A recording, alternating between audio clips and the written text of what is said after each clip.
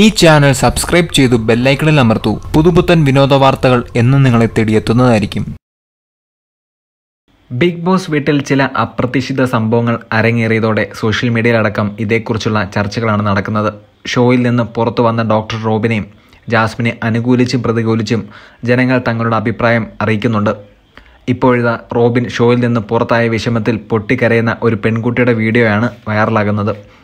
Big boss Malayalam reality ഷോയിൽ നിന്ന് ആദ്യമായി സ്വന്തം ഇഷ്ടപ്രകാരം പുറത്തിറങ്ങിപ്പോയ ജാസ്മിൻ തന്നെയാണ് ഈ വീഡിയോ തന്റെ സോഷ്യൽ മീഡിയയിൽ പങ്കുവച്ചത്. Bigg Boss reality show scripted ആണ് എന്ന് അലറി വിളിച്ചാണ് ഈ പെൺകുട്ടി കരയുന്നത്. റോബിനെ മനഃപൂർവം ഔട്ടാക്കിയതാണെന്ന് ഇവർ കരഞ്ഞുകൊണ്ട് പറയുന്നു. ലാലേട്ടനും ബിഗ് ബോസും ചതിച്ചതാണെന്ന് തലക്കെട്ടിൽ പ്രചരിക്കുന്ന വീഡിയോ പങ്കുവെച്ച് ചേച്ചിയോട് ഒന്നും തോന്നല്ലേ എന്നാണ് ജാസ്മിൻ കുറിക്കുന്നത്. ബിഗ് ബോസ് ഷോ സ്ക്രിപ്റ്റഡ് ആണെന്നും ജാസ്മിനെ കൂടെ കൂടെ മെഡിക്കൽ റൂമിൽ വിളിച്ചു വരുത്തി കൊടുത്തതാണ് ഇതെന്നും പെൺകുട്ടി കരഞ്ഞുകൊണ്ട് പറയുന്നു.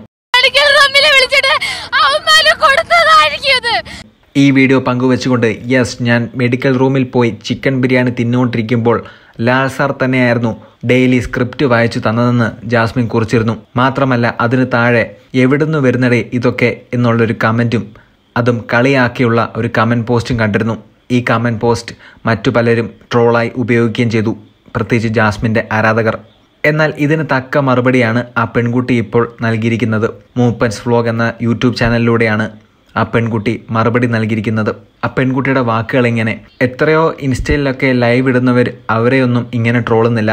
അപ്പോൾ ഞാനിങ്ങനെ ഭംഗിയില്ലാത്തതുകൊണ്ടാണോ എന്നെ ഇങ്ങനെ എടുത്തിട്ട് ട്രോളുന്നതെന്ന് പെൺകുട്ടി ആരോപിക്കുന്നു. ഈ ഒരു വീഡിയോ സ്റ്റോറിയാക്കി ഇട്ടതുകൊണ്ടാണ് മറ്റുള്ള ട്രോളർമാർ തന്നെ ട്രോൾ ചെയ്ത് ഫുൾ നെഗറ്റീവ് നെഗറ്റീവായിരുന്നു ഇത്രയും ഫെമിനിസ്റ്റായ ചേച്ചി അത് ചെയ്തത് തനിൽ വിഷമമുണ്ടാക്കി. അതേസമയം കുട്ടിയുടെ വീട്ടുകാരുടെ പ്രതികരണം ഇങ്ങനെയായിരുന്നു. എല്ലാവർക്കും പറയാനുള്ള കാര്യങ്ങൾ തന്നെയാണ് അത് നീ പറഞ്ഞത്. ഇത്രയും നീ കരയുമെന്നും നീ ഡൗൺ ആകുമെന്നും വിചാരിച്ചില്ല. പക്ഷേ എനിക്കിന്നലെ ആ വീഡിയോ ഇറങ്ങിയപ്പോൾ എനിക്കൊന്ന് നോക്കാൻ പോലും പറ്റിയില്ല. അത്രയ്ക്ക് ഡൗൺ ആയിപ്പോയി. കരച്ചിലായിരുന്നു ജാസ്മിൻ ചേച്ചിയോട് എനിക്ക് പറയാനുള്ളത്.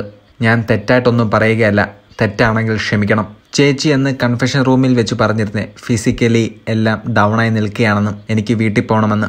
ആ ഒരു സംഭവമാണ് എനിക്ക് ഇന്നലെ ഉണ്ടായത്.